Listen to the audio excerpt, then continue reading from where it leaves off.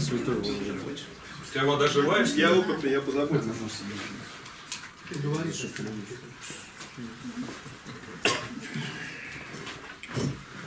На самом деле уже много было сказано, да? Я не знаю, зачем я здесь нужен сейчас. Уже как бы весть была дана, да? Молились тоже неплохо, да, прославляли Бога. На самом деле, как бы это не моя стихия, да, стоять за кафедрой. Но Бог ясно нам сказал, да, если не будем говорить мы, будут говорить камни. Аминь. И это действительно так.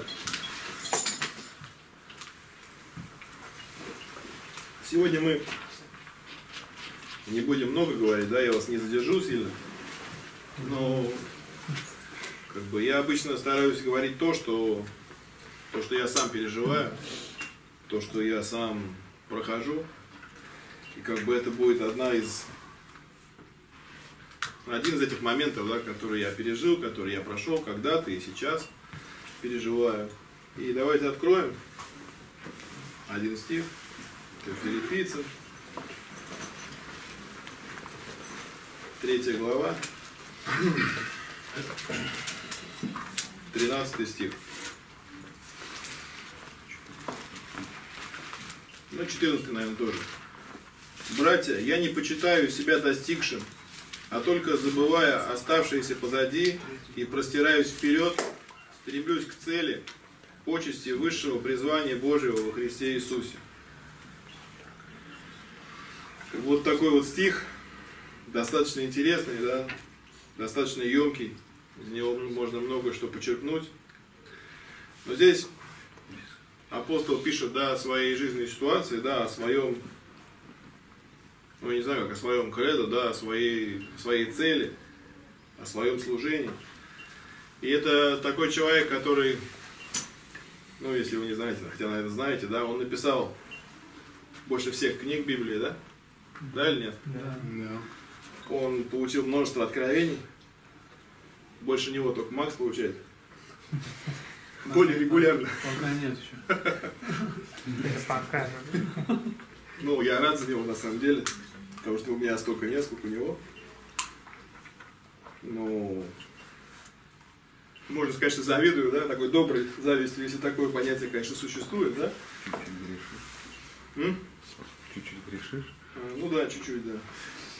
Но то, о чем я хочу сегодня, говорить, это вот как раз о том, чтобы как бы забывать старое, да, забывать то, что мы прожили, оставлять это позади. Не то, чтобы это не использовать в жизни, да, потому что тот опыт, который мы накопили за годы во Христе, да, ты не можешь забыть, не можешь бросить, не можешь оставить, да. Но как бы то, что я имею в виду, это как бы не опираться только на него, да, а искать чего-то нового, стремиться, искать новых откровений, потому что без этого мы не можем жить. И однажды, еще будучи в Рету, да, я получил такую весть, которая написана в 1 Тимофее 6.6. Можем открыть? Хотя я могу и так процитировать. Откроем или как? Откроем. Давайте, Костя, давай мне чуть больше времени, ладно? А? Мне чуть больше времени, чтобы я нашел. Ну, это там рядышком прям.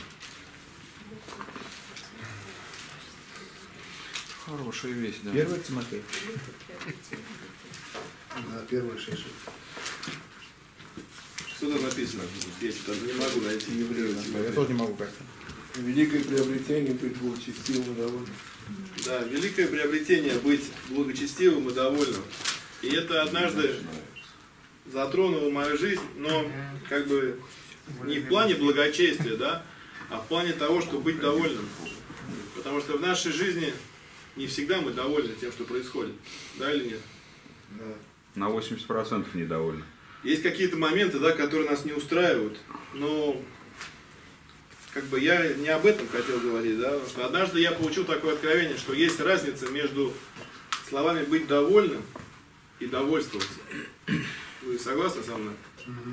Потому что это большая ошибка, которая происходит в нашей жизни, когда мы получаем что-то от Бога, когда мы получаем какие-то откровения или какие-то опыты от Христа. Мы очень часто успокаиваемся и начинаем жить вот этим откровением. Но Бог не, не этого хочет от нас. Его количество его откровений, оно не ограничено. Мы лишь должны их желать, должны их хотеть, и Он готов и желает нам их открывать.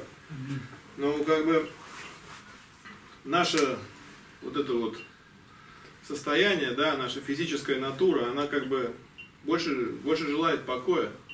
Согласны со мной? Как вот эта вот фраза, да, зона комфорта, да?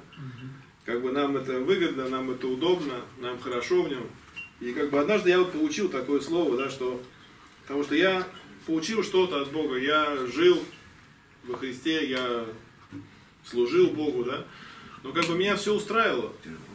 Я был доволен тем, что я имею, у меня было какое-то определенное служение, я вел каких-то людей и так далее, но на самом деле я дошел до такого момента, когда вот все, я понял, что я всего достиг. И это очень большая ошибка. Даже апостол Павел, здесь мы читаем и пишем, что я не достиг. И это великий человек, это не такие, как мы, да? Он не почитает себя достигшим.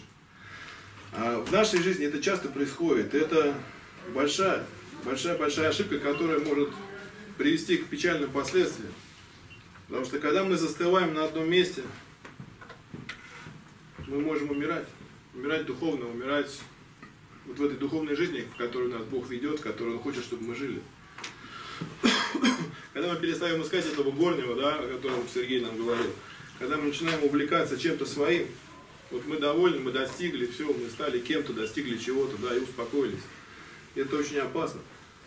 Я на самом деле за 18 лет, лет жизни в Рету, да, я ну, могу сказать, что я много чего достиг, да, там, кем я только не был, там, и лидером, и директором, и всем подряд, да.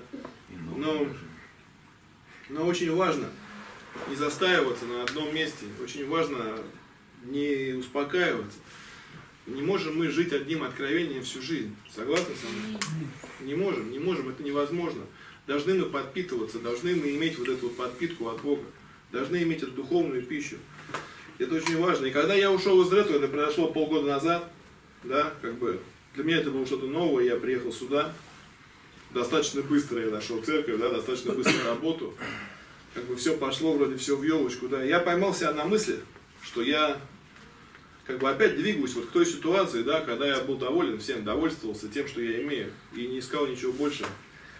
И когда мы решили начать вот эту вот, даже не знаю, как это назвать, Собрание. Обновление. эту миссию обновления, да, можно сказать. Знаете, сколько это времени заняло наше обсуждение? Да меньше даже. Я принял решение, когда мне Макс позвонил, он еще ехал, я уже принял решение, что я за. Как бы почему? Потому что я желал чего-то, да, я просил у Бога чего-то, какого-то движения, какого-то обновления, какой-то ситуации жизненной, чтобы что-то поменяло, чтобы как-то все закрутило, чтобы я был чем-то занят, чем-то увлекся опять, что- что-то получил от Бога больше. И я вам скажу, что такого состояния, какое у меня сейчас есть, блин, давно я не испытывал на самом деле. Давно. И, может быть, даже никогда. Ну, может быть, когда покаялся. Еще я был более ободрен, да. Но это реальность на самом деле. Потому что, когда в нашу жизнь приходит обновление какое-то, это всегда радость, это всегда ободрение, всегда огонь, да, как мы говорим, горит. Как бы это, это радует. Но я просто почему затронул вот эту тему, да, потому что на днях мы с Максом имели эту дискуссию в Фейсбуке. Знаете, что это такое, да? Такая штука. На самом деле я сам мало чего понимаю в этом, да, но вот, как бы попал вот в этот диалог между людьми, да.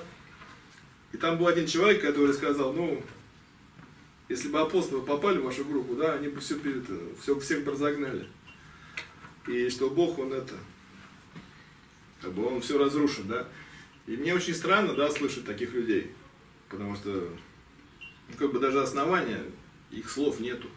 Одно я могу сказать точно, что как все идет, да, какая атмосфера у нас, как, как идет, как слово, насколько оно подходит, да, насколько оно идет в нужду людям, да, насколько все это быстро получилось и все организовалось. Я определенно, да, определенно могу видеть руку Бога на это. Аминь. И еще один момент хотел затронуть, это не по теме, но как бы мы поедем с Максом, да, нам надо регистрировать нашу организацию, да. Я просто хотел, чтобы вы молились за это вот в эти дни, потому что это очень важно, чтобы все прошло нормально. Я, правда, сам пока не понимаю, как все это будет, но Бог знает. Бог знает, и у мастера есть видение какое-то, да? Но как бы очень важна молитва за это. Поэтому я вас призываю не только вас, но и тех, кто в камеру будет смотреть тоже, которые здесь не присутствуют, чтобы молились, потому что это очень важно, и нам это нужно. Вот. И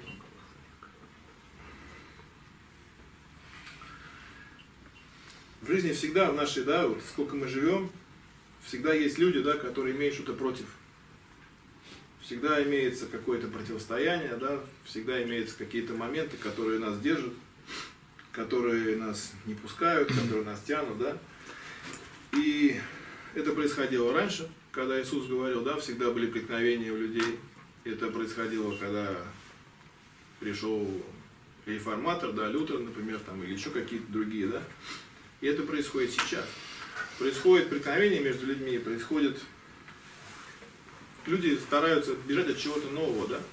От чего-то, то, что им не знакомо, от того, что выбивает, да, их из этой вот зоны комфорта, да, но мы, как бы, как люди понимающие, да, чего мы хотим в жизни, мы должны понимать, что не бывает жизни во Христе без обновления.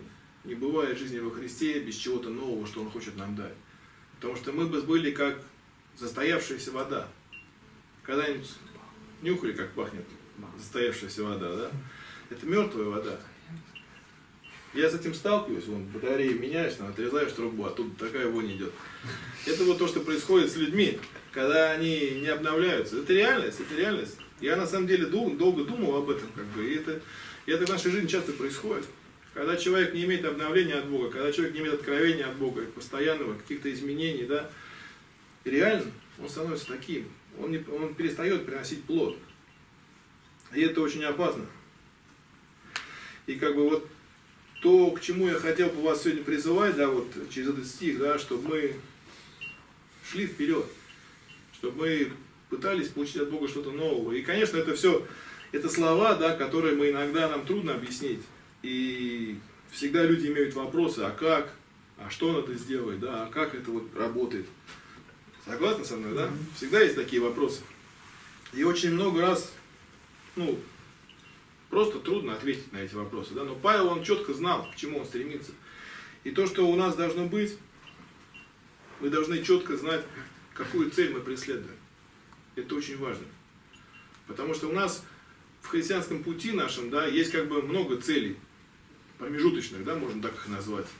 Ну, кто к чему стремится, там, кто-то хочет проповедовать, кто-то хочет, там, не знаю, дары иметь, кто-то хочет еще что-то. Но здесь, в 14 стихе, Павел пишет, стремлюсь к цели, к почести высшего призвания Божьего во Христе Иисусе.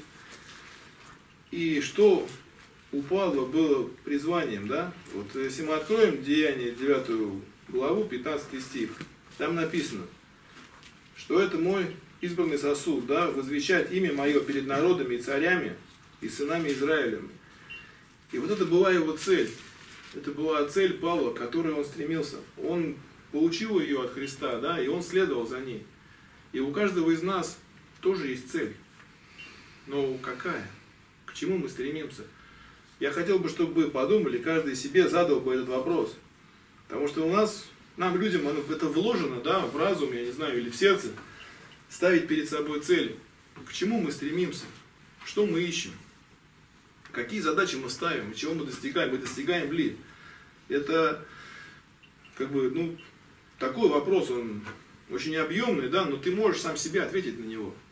Минимум я могу, я знаю, что я хочу, я знаю мои промежуточные цели, я знаю мою финишную, да, цель, но мы должны стремиться к чему-то, да, должно у нас быть что-то такое, за которое мы держимся, за которое мы идем. И как бы, как в песне поется, да, по-моему, краеугольный камень, дойти до конца, дойти до неба, да? Вот наша основная цель. Библия что пишет? Кто дойдет до конца, претерпит до конца, спасется. И это наша цель. Понятно, что мы можем много умствовать, да, там, что мы покаялись, значит, мы спасены. Но ты спасен сегодня, когда покаялся. Но твой путь, он не в один день, не в один час, не в одну минуту. Мы очень часто хотим, чтобы с нами произошло, как с тем разбойником, да? Он сказал, вспомни обо мне в своем царстве, да? И был спасен. Но он умер. Умер в ту же минуту, грубо говоря, да? Нам предстоит жизнь. И вот Павел, он проживает эту жизнь, и он ищет, постоянно ищет, постоянно двигается, постоянно идет вперед.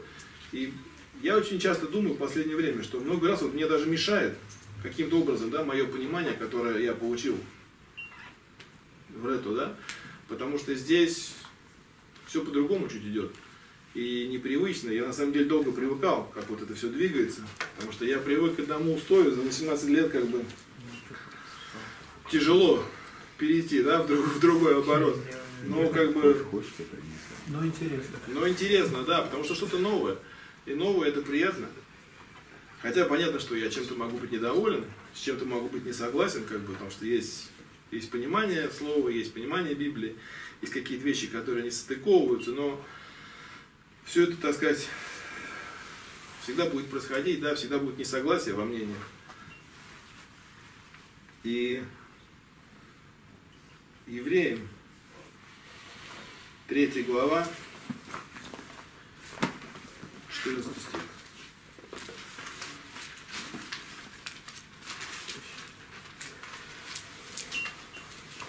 Этот стих очень, не знаю, как сказать правильно, очень сильно меня толкает. Подожди, подожди, Костян. Чего? Подожди, подожди. Да жду, жду, давай, давай. Что нашел? Я понимаю, что ты забыл, где евреи. Да, я забыл, кто такие евреи.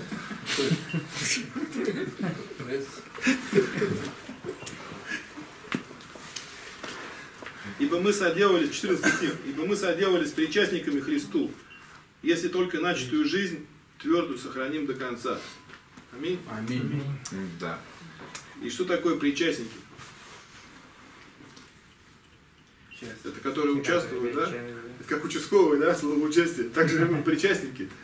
Это те, которые получили часть, да, вот в этом служении Христа, вот в этом учении, да, которое Он принес. Вот в этом, не знаю, в этом вот деле спасения, да. Мы причастники, и мы должны начатую нами жизнь твердо дойти до конца. И это цель. Это цель, которая должна быть в нашей жизни, да.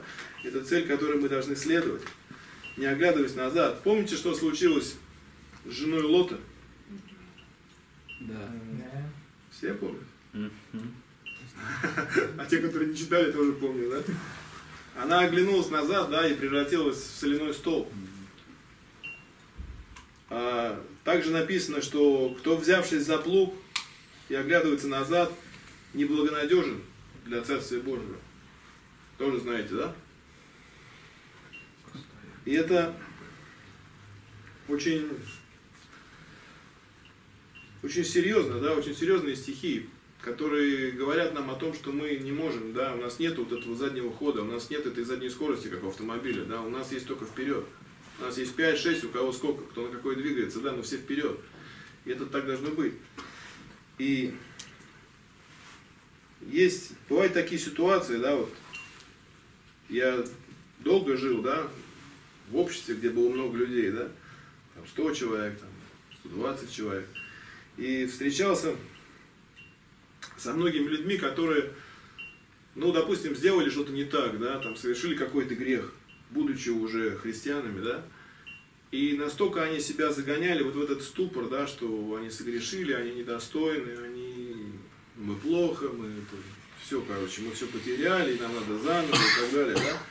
Или другая ситуация, которая, там, ну, пригласили человека говорить на собрание, да, он перенервничал, там, наградил ахинея, да, грубо говоря. И все, и больше ты его не затянешь. И он сам себе морочит голову, что это не мое, это не для меня, я не могу, и туда, и сюда.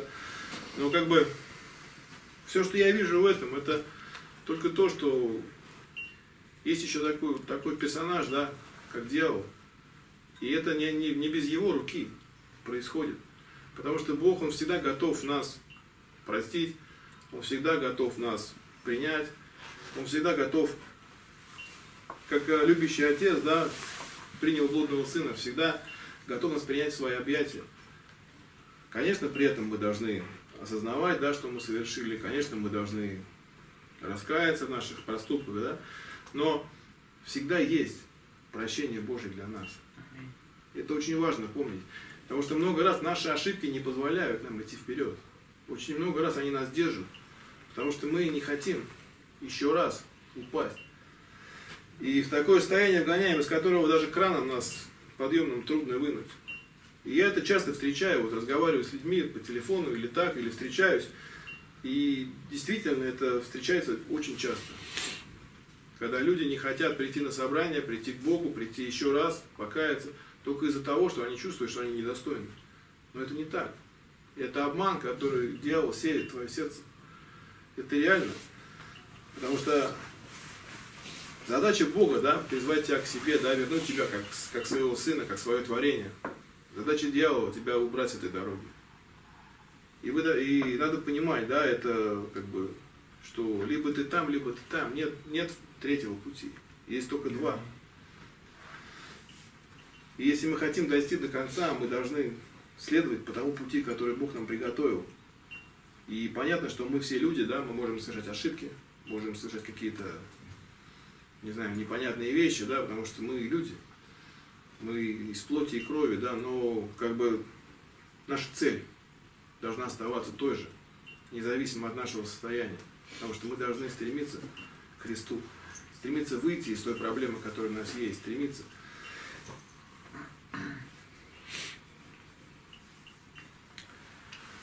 Библия пишет, что враг, он как рыкающий лев, да, ходит вокруг и ищет кого бы поглотить. И это его, это его стихия, да, его стезя, его цель. Потому что он тоже не хочет отдавать свое, да, но тот, кто с нами, сильнее, да? Аминь. Мы песни поем, да, армия, что с нами, сильнее, чем силы тьмы. Аминь. Аминь. Поэтому, как бы, Помните эту историю, да, о которой песня? Когда окружили пророка со слугой, да, войска, и слуга, ну, мягко говоря, испугался, да? А пророк ему сказал, ты просто не видишь, что те, которые за нас, их больше. И он ему открыл, открыл ему глаза, и он увидел. Вокруг них еще большая армия. И это то, что должно быть в нашей жизни, такое откровение, да, то, что мы сильнее. И недавно мы обсуждали такую тему, ну, вдвоем, да, с моим другом. Я как бы в последнее время часто обсуждаю какие-то темы. И, и мы с ним обсуждали, почему вот, чем отличаются, да, вот ситуации Ветхого Завета, да, от ситуации Нового Завета.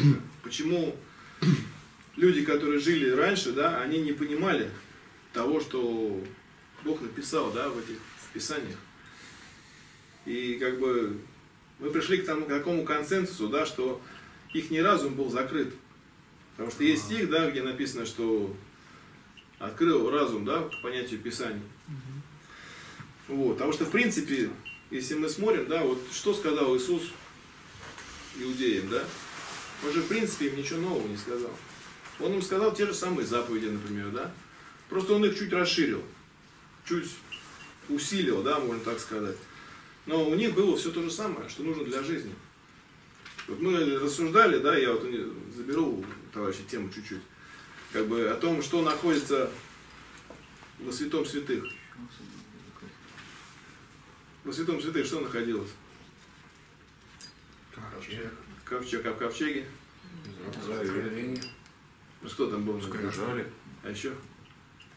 Ну, ты можешь не говорить ничего. Мы с тобой Опередил, чтоб не снял с языка. И манна, да, сосуд с манной. Это три вещи, да, которые олицетворяют определенные, определенные вещи, да, в нашей жизни, определенное понимание есть к этим вещам. И скрижали, как бы, ну, это самое простое, да, скрижали это, как бы, олицетворяет закон, да, на них даже написаны были заповеди. Манна, она олицетворяет откровение, да, духовное, духовную пищу, олицетворяет пророков.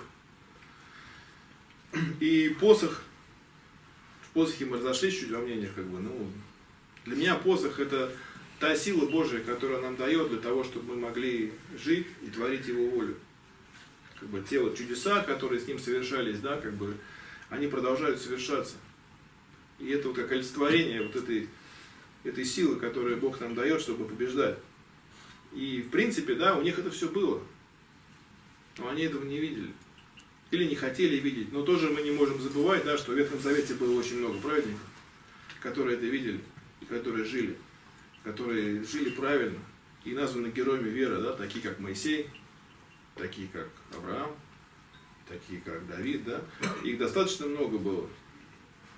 Но они были. Просто люди были закрыты, да, их разум был закрыт к пониманию. И то, что сделал Иисус, Он открыл, да, вот открыл эту, эту завесу, да, с разума, чтобы люди могли понимать. И мы сейчас понимаем, что без этого мы не можем жить. Это как три составляющих, на чем основывается наша жизнь. Потому что мы, как люди, мы можем, да, уменьшать значение закона, да, в нашей жизни. Но тоже мы не можем не понимать, что закон это наш путеводитель к Христу. Да или нет? Аминь. Аминь. Потому что это очень важная часть. Мы не можем быть угодными Богу, да, если мы не соблюдаем Его заповеди. И это как бы в нашем понимании, да, заповеди это на чем они? Это не убей, да, не укради, не прелюбодействуй и так далее, да. Но как бы все это так. Но Бог это все объединил в две. Да, когда у Иисуса спросили, да, Он им объяснил, да, что есть две. Возлюби Бога своего всем сердцем, всем разумом, всей душой, всей силой своей, да, и возлюби ближнего, как самого себя. Все остальное включается в эти две заповеди. И мы не можем их выкинуть, да.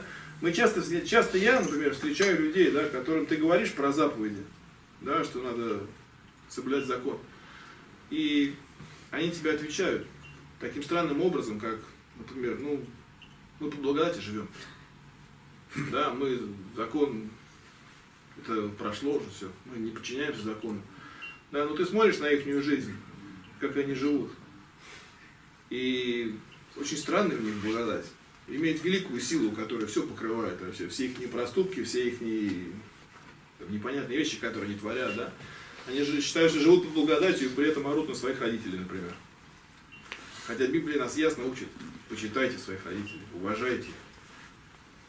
Они считают, что они живут по благодати, и потом обманывают. И делают какой-то бизнес, который на 60% открытый, на 40% закрытый. Для меня это странная благодать. Это не имеет ничего общего с той благодатью, которая, которая есть в моем понимании, да, которая сопровождает нас по жизни, которая дает нам возможность, дает нас силу жить. Потому что мы можем рассуждать сейчас о благодати, я, в принципе, не хотел это затрагивать, да, но как бы есть два понимания, что такое благодать. Одно это дар, которого мы недостойны, да, потому что мы получили спасение по благодати.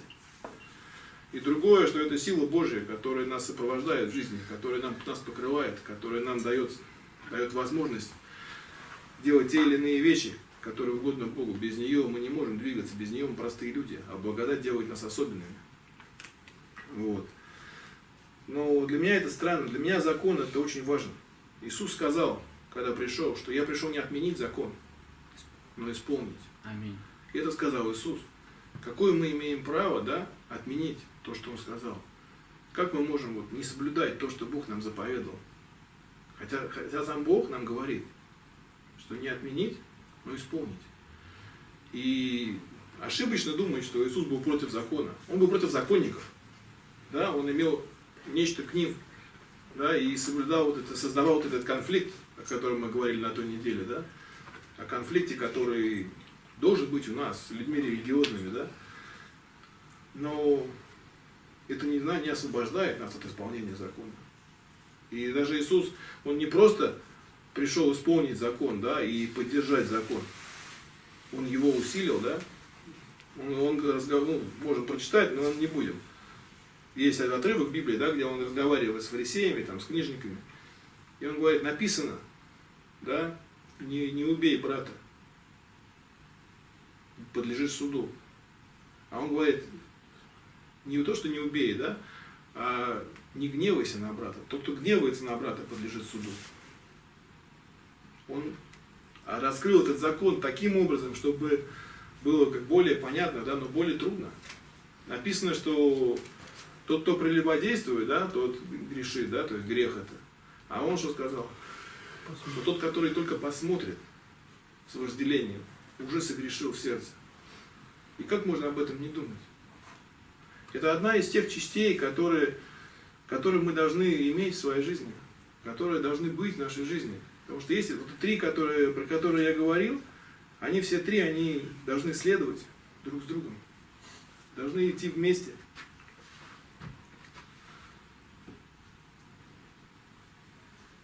И очень важно быть такими, каким Бог нас хочет от нас, да, но быть везде.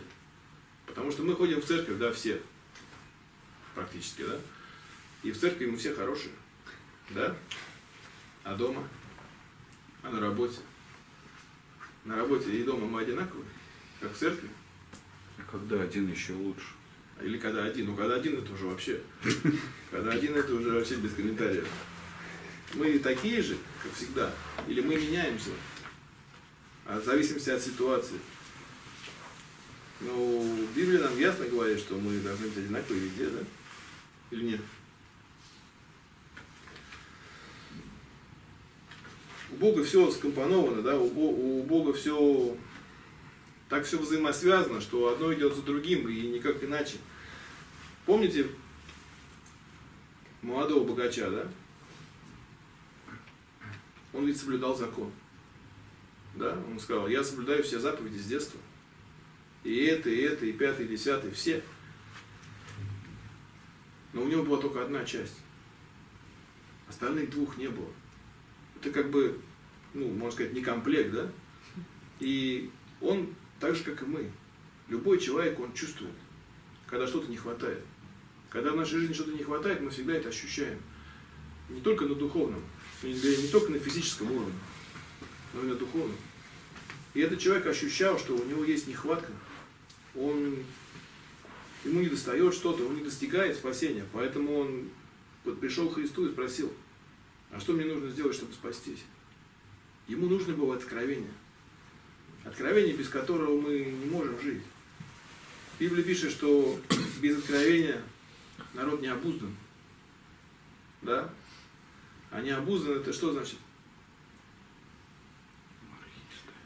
Не надо. Не управляем. Не управляем. Узда это то, что управляет конем. Да? Я плохо представляю, как это выглядит. Ну какая-то штука вот здесь вот, которую тянут, да, и она тебя ведет налево и направо. Я как бы с лошадьми не знаком, но могу представить, да, что узда это то, что управляет. И это то, что нам нужно. И как бы я не хотел заострять на этом человеке, да, внимание, что как бы он ушел опечаленно, но ушел, ушел, это, это вам Макс потом расскажет, что он об этом думает. Но как бы то, что меня зацепило в этом, да, можно сказать, то, что он получил это откровение, Иисус сказал ему, что надо сделать. Что он имел в виду или что он не имел в виду, как бы это все понятно, да, там каждый может видеть это по-своему. Надо было ему продавать это все, не надо было, что Иисус имел в виду. Но то, что мы можем понять из этой истории, что он не сразу принял это откровение, да, это большая ошибка, которая происходит. Мы очень много раз так поступаем. В нашу жизнь приходит откровение, в нашу жизнь приходит слово, в нашу жизнь приходит исправление – и мы много раз это воспринимаем в штыки. Потому что мы их не принимаем как слово от Бога, да, потому что оно приходит от человека. Бывает такое с нами? Но откуда мы знаем? говорит через, человека тебе Бог или нет. Почему мы так уверены? Очень много раз мы подстраиваем все, что мы получаем, да, как бы под нашу жизнь, как нам удобно, как нам удобно это воспринять. И это неправильно. Например, вот история Гедеона. Нам всем известна, она очень длинная, читать не будем, да? Знаете историю Гедеона? Вот был человек простой, да, из самого маленького колена, там, из самой маленькой семьи. Но он получил откровение, откровение необычное. Но почему вот он поверил, а молодой богач нет? Ведь ему надо было, ну, понятно, что надо было ему там продать что-то, да, допустим. Тому ничего не надо было продавать, но тому надо было идти на войну. Человек, который никогда не воевал, человек, который там, что он там делал-то? Шарился по полям. Да, что-то собирал там на полях, да? То есть земледелием занимался. Но ему Бог сказал, собери войско, иди воюй. И в конце концов, кроме этого, еще сказал, давай половину выгони, а возьми только 300 человек. И 300 человек против огромного войска. Но у этого человека была вера, и он жаждал откровения. И он жаждал быть использованным Богом, потому что он это ощущал, он это чувствовал, он это хотел. Это то, что должно быть в наших жизнях. Мы должны жаждать откровения от Бога. Мы должны жаждать получить Слово от Бога. Мы должны прилагать к этому усилия, не просто протирать штаны, грубо говоря, да? Мы должны искать этого, жаждать. Библия пишет, что вы ревнуете о дарах духовных. Знаете такой стих? И это очень важно. Ревность это не только плохое качество, да, когда муж жену ревнует. Ревность это когда ты очень сильно переживаешь за что-то. И мы должны переживать, должно быть переживание в нашей жизни, чтобы это было в нашей жизни. И, кстати, это в книге Судей находится, если кто-то потом хочет прочитать. И как бы было нереально, да, это слово для него, потому что я просто себя поставил на его место, да, вот я сижу, там, я не знаю, там, монтирую какую-нибудь лампочку, да, и, и вот раз мне откровение пришло, иди на войну там с Игилом, да, возьми, возьми Макса, Серегу и Леху, да, и вчетвер, вчетвером идите, я представляю, что со мной будет, я прям там на обморок попаду. А человек пошел и победил.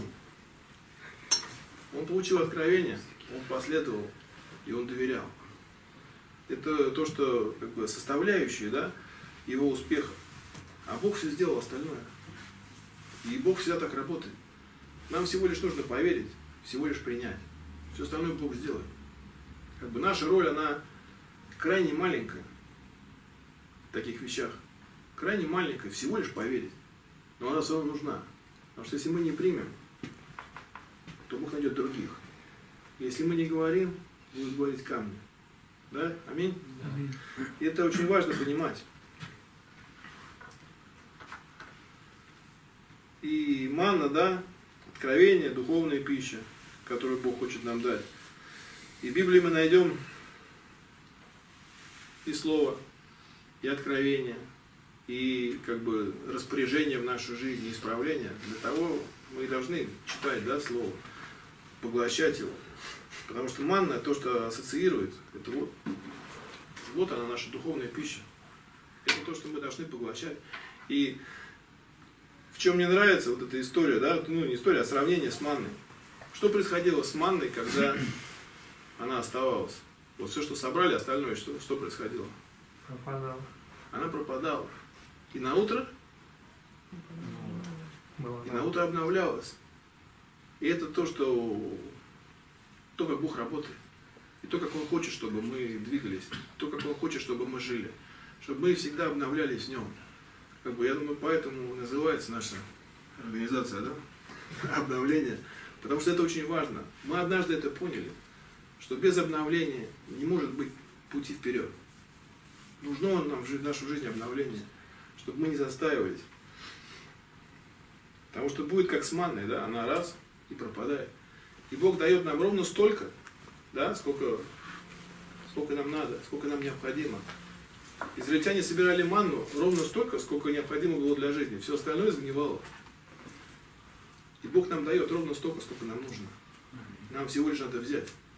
Нам всего лишь надо взять это и использовать в нашей жизни. Бог этого хочет от нас. Нужно нам обновляться. Не может без этого быть жизни во Христе. Не можем мы прожить всю жизнь на одном откровении, которое ты в начале пути получил. Не может быть. Это я слышал очень много раз в свою жизнь. Очень много раз. Что не может быть жизни построено на одном откровении. Всегда должно быть обновление. Давайте откроем евреям.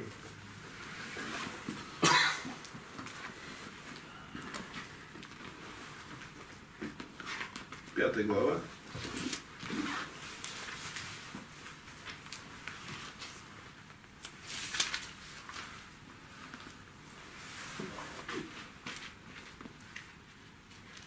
Тринадцатый стих и четырнадцатый. Всякий питаемый молоком не сведущ в слове правды, потому что он младенец. Твердая же пища свойственна совершенным, у которых чувства, навыком приучены к развлечению добра и зла. Это говорит нам о том, что духовная жизнь, она как физическая. Вот рождается младенец, да, и он растет. Больше, больше там школа, институт и так далее, да. В духовной жизни все то же самое. Мы рождаемся, мы младенцы, мы пьем это молоко, но потом на нашу жизнь необходимо мясо, да, как мы говорим, твердая пища. И вот этот рост духовный, о котором здесь написано, да, этот опыт с Богом, потому что навык это что? Это опыт. Аминь. Навык это опыт. И у нас должны быть эти опыты, мы должны расти с Богом, чтобы мы не были, как эта болезнь называется, ахид, да? Потому что мы можем очень сильно вырасти, например, в церкви, да, иметь там служение, иметь там служение, иметь там служение, но в духовном плане быть карликами. И это ненормально. И мы можем считать себя духовными, но при этом ничего не делать. Это тоже ненормально. У Бога все сбалансировано. Как это называется, эквилибрия, да? Сбалансировано, да? Ага. Да, те- да. тебя спрашивал, ну не важно. И еще один момент, который я хотел бы затронуть сегодня, я в нем не утомил вас. Не, нормально.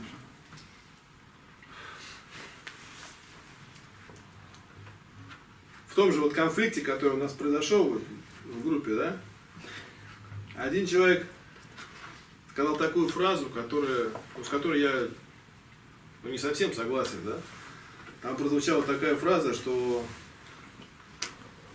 нам дана власть быть чадами Божьими, вся остальная власть у Бога.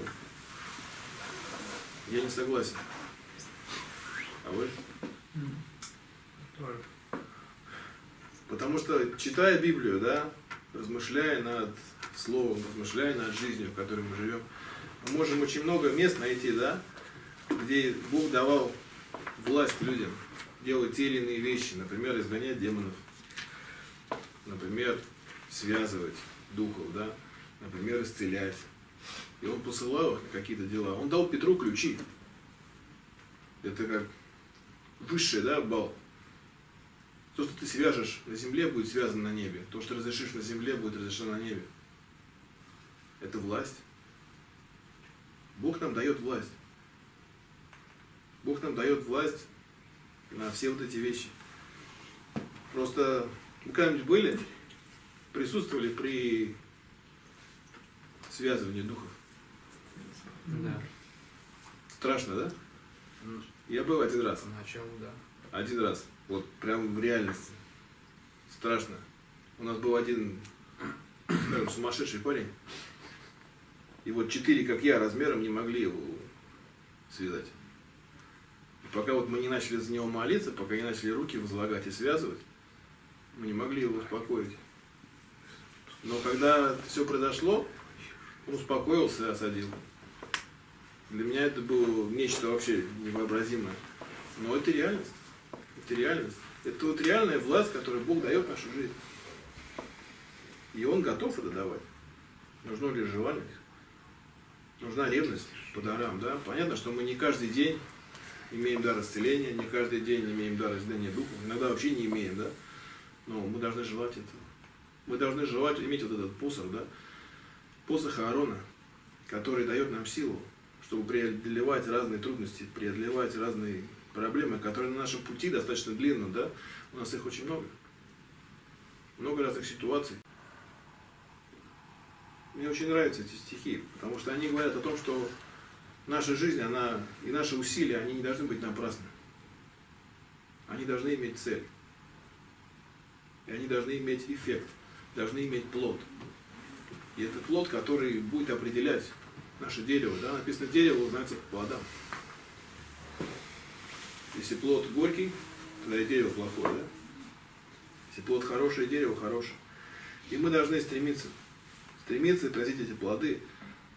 Не будем рассуждать, да, что значит эти плоды. Я думаю, так все люди взрослые все понимают, что, в чем они выражаются, да. И, в принципе, я хотел уже заканчивать. Есть один стих, да, который в последнее время, он крутится у меня в голове.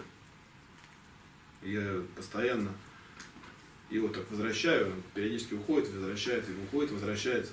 Это Исайя 40, 31. Я хотел бы вас ободрить этим стихом и закончить на этом.